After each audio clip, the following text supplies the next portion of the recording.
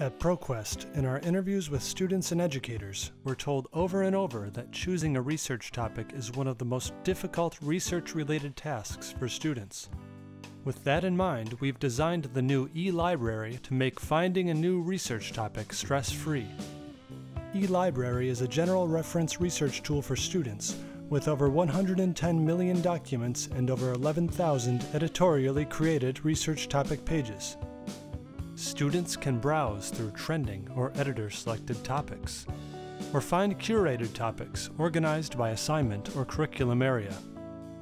Visually stunning research topic pages appear just a click away, and our improved topic tree makes it easy for students to quickly browse a large number of topics.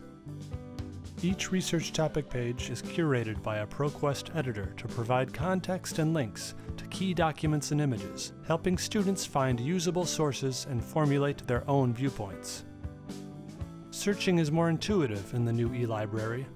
Research topic pages appear at the top of the results list for the most common search queries.